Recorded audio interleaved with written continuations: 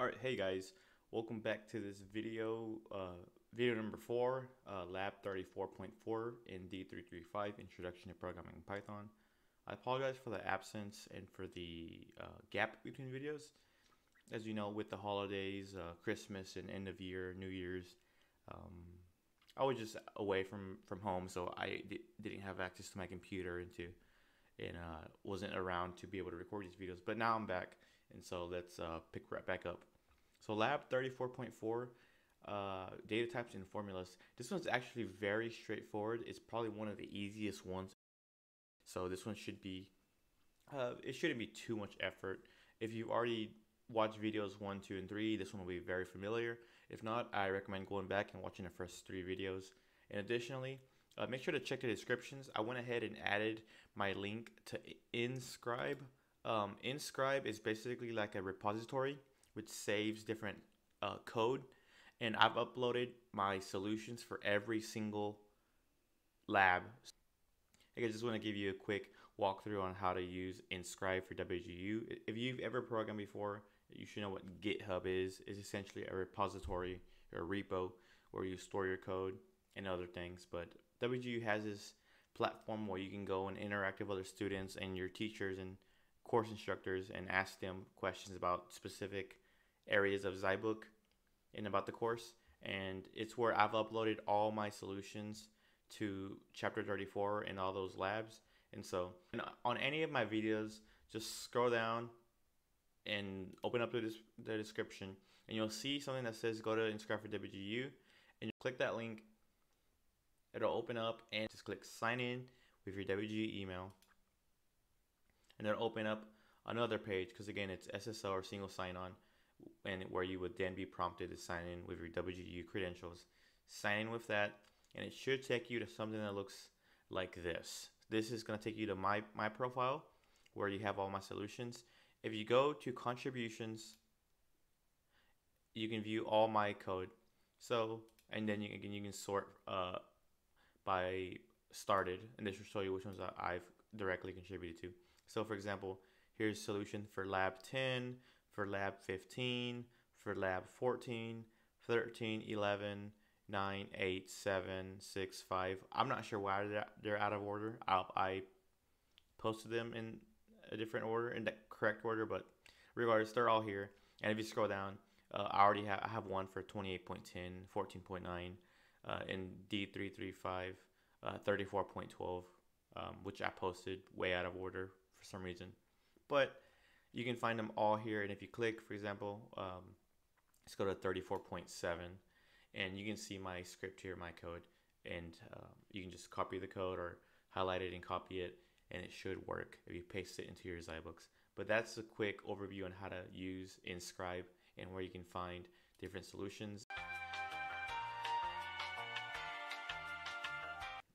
So jumping right into this one, uh, we're, we're being asked to create a solution that accepts any three integers uh, that represent the base uh, b1 and b2 and the height h of a trapezoid in meters.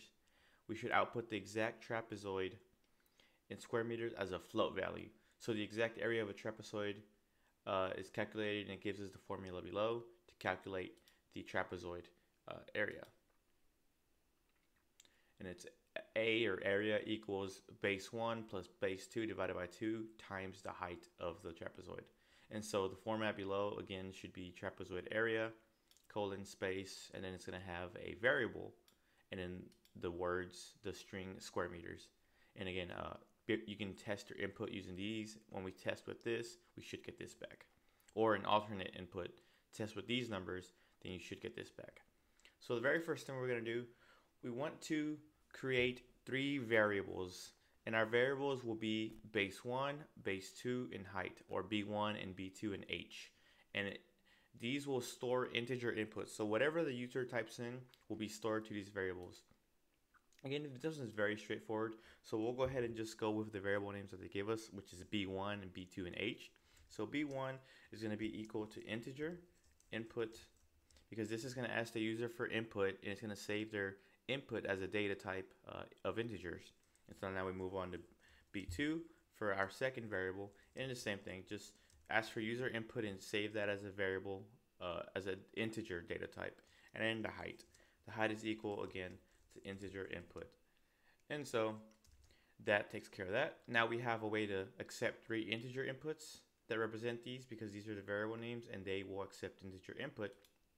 So moving forward, to calculate the area, um, we need to create a variable that's going to store the formula for your area. And again, the reason why we named our variables b1, b2, and h instead of base 1, base 2, and height is because we can simply go and copy paste the trapezoid formula into our variable here. So we can just name it A or we can name it area. We'll just name it, um, we'll name it area. And it's to set B equal to whatever the formula up here is. So just copy this. And there you go. However, this isn't valid Python code. Uh, you have to come back and change these to parentheses. And so just change that to parentheses. And now you have valid Python code. So again, area equals base 1 plus base 2, divide that by 2, and then multiply by the height. Again, parentheses is important because order of operations matters. And so uh, you want to have your parentheses in order to make sure that this plus this is being divided by 2 and not b1 or not b2 alone is divided by 2 or, and you know order order of operations matters in python so make sure your parentheses match to avoid that you know just copy paste that and change these brackets into parentheses and you should be good. Okay, so that's pretty much 90% of our code. The last thing we need to do is to print the actual result. So again, using f string formatting, you want to make a print function and our our output will be in this format. Trapezoid area which is a string it's a literal string you're gonna type out these words. We don't have a variable named trapezoid area so literal string. Uh, area area value is essentially what this is. Area uh, we, I, we can go ahead and just name it area value just for congruency. But again you can name your variable whatever you want um, but that's essentially what this is area value and I actually missed that I've recommended to use the variable names that the prompt gives you just to so you don't have to go uh, chasing around and figuring out what is what you can just plug everything in from the output into your formula but we're going to go ahead and rename area value and so we want to print trapezoid area. Because again, this is a, a, literal string. It's just the words. Add a colon because uh, it's part of our required output. And remember, white spacing matters. Uh, if we don't have a blank here, we can have the right code and the right number. It'll look just, it'll look very similar like it's correct, but it doesn't have that space there, so it'll be marked wrong. So again, make sure to add that space.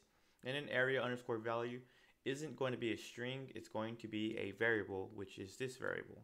So when you're using F string formatting, make sure that you're using brackets, cur curly brackets, where you store your variable. So this is going to be area value.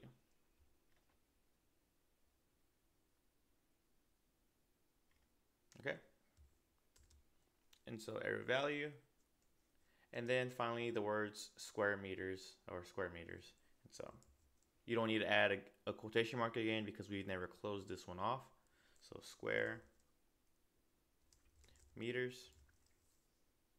And now finally, we can close it off with a closing quotation mark and a closing parentheses. And again, this can your quotation marks can be single quotes or double quotes. It doesn't really matter. I learned with double quotes, and that's what I've been using ever since. But feel free to use single quotes. That doesn't actually affect anything, as long as you have a closing and an opening uh, quote. So now, once our code is complete, we want to test our input. And so in order to, to do that, I recommend this for exam, always test your input. The prompt, the question will always give you some sample numbers to, to plug in, and it'll give you what it should get back. And so on the exam, you won't have a submit mode where you hit run and it'll and submit and it'll tell you, hey, uh, two out of five exam uh, test passed, uh, five out of five passed, and your code is good. No, you're gonna have a develop mode, which is essentially a way for you to test uh, those tests. And so let's take this sample input. Again, always go with the input they give you. Test your own different numbers and input, but always at least bare minimum go with what the exam gives you because you're guaranteed to know what it should be. Okay, so now we've, you can copy paste that or just enter it and this should be our result. Trapezoid area colon space 17.5, which should be the variable that's stored in that. That's calculated from this and in square meters.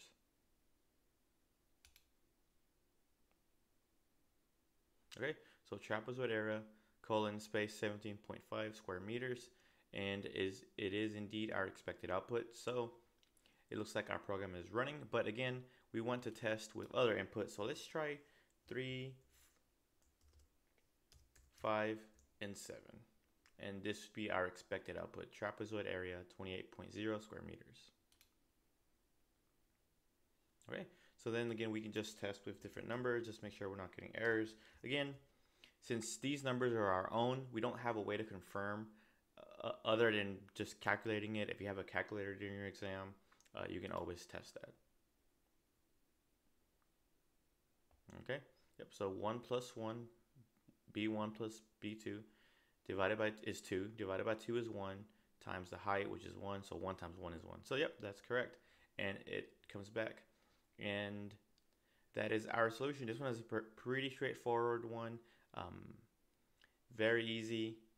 Uh, your pre-assessment or your objective ass assessment, uh, very similar. It'll give you some, it'll have some comments up here. Again, because I've already gone through the solution, I deleted comments out, but your objective assessment and pre-assessment should have some comments out here that'll give you some good hints and advice and uh, formulas and conversions and just depending on what the question have will have different information use that to your advantage um, on the exam and so this is a very straightforward solution.